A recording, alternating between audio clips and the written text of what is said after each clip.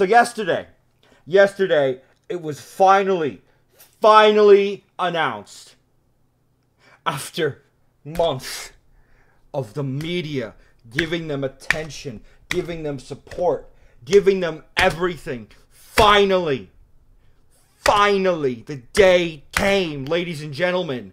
Our memes are no longer dreams. We did it, ladies and gentlemen.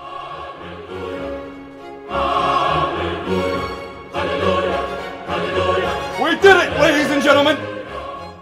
We did it. We fucking did it.